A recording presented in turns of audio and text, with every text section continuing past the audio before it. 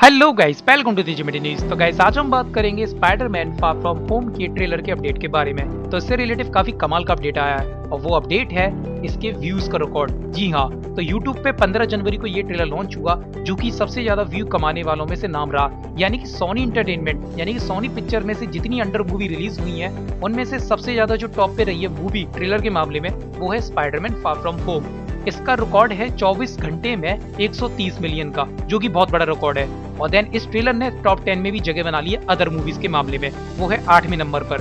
Then उसके बाद सातवें नंबर पर रैगनॉक फिर फास्ट एंड फिर avenger infinity war second trailer फिर ID the lion king avenger infinity war और एंड गेम जो कि 289 मिलियन है। तो देन स्पाइडरमैन ने टॉप 10 में तो नाम कमाई लिया और सोनी इंटरटेनमेंट सोनी पिक्चर में सबसे पहले नंबर पे आ गई है। तो देन सोनी कंपनी को काफ़ी ज़्यादा गर्व हो रहा है इस मूवी पे, क्योंकि उनने टॉप 10 में और देन अपनी ही मूवी में सबसे टॉप पे रही है। तो 24 घंटे में 130 मिलियन स्पाइडरमैन के ट्रेलर ने कंप्लीट कर लिए हैं। अब आप चेक करोगे कि भाई अभी तो 24 या 30 मिलियन ही है। नहीं। ये ओवरऑल काउंट है जो कि एक सर्वे के टाइम पे रिकॉर्ड करा जाता है। क्योंकि मुझे भी मैंने सबसे पहले चेक करा जब मुझे ये पता चला। तो प्लीज़ आप भी ऐसे कमेंट ना करें कि भाई उस पर तो व्यू इतनी है। तो कैसा लगा अपडेट अगर आप ये वीडियो यूट्यूब पे देख रहे हो तो मेरे चैनल को सब्सक्राइब करें फेसबुक पे देख रहे हो पेज को लाइक करें। रियली में आपको ये वीडियो पसंद आए तो प्लीज़ लाइक कमेंट शेयर करो। जो बंदे इस वीडियो को नए देख रहे हो, या तो उस पर आयरन मैन के हाथ मारो या पैर मारो। और कुछ मत मानना।